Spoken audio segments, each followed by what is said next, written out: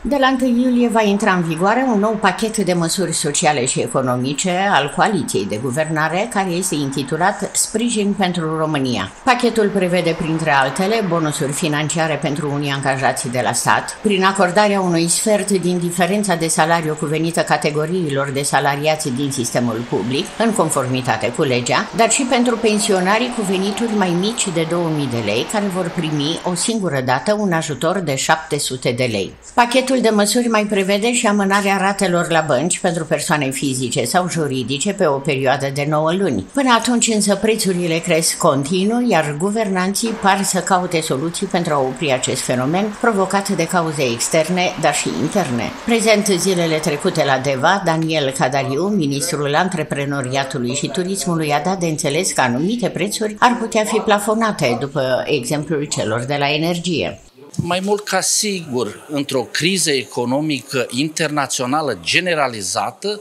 sunt consecințe. Uh, cu toții suferim și ca urmare a pandemiei și ca urmare a creșterii costurilor pentru utilități și pentru energie și datorită acestui uh, conflict de la graniță. Ideea este, în contextul dat la un moment dat, ce soluții găsim pentru, de exemplu, energie, guvernul a luat o măsură în aprilie pentru a, a asigura plafonarea unor prețuri pe, uh, pentru o perioadă de un an de zile.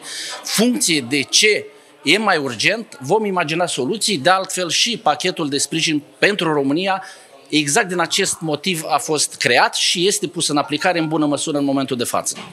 Tot de la 1 iulie, prin programul Sprijin pentru România, guvernul va lua măsuri și pentru consolidarea fiscală și respectarea angajamentelor privind deficitul public. Printre acestea sunt uh, suspendarea angajărilor la stat, dar și diminuarea cheltuielilor bugetare cu cel puțin 10%, cu excepția investițiilor, salariilor, pensiilor și asistenței sociale.